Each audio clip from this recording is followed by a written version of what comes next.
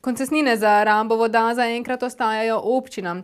Obnova boštanske osnovne šole, 70-letnica Brežiške gimnazije ter priprave na zimo so le nekatere od zgodb, ki jih prinaša tokratni postavski tednik. Bodite z nami danes ob 20. uri na Ansat TV.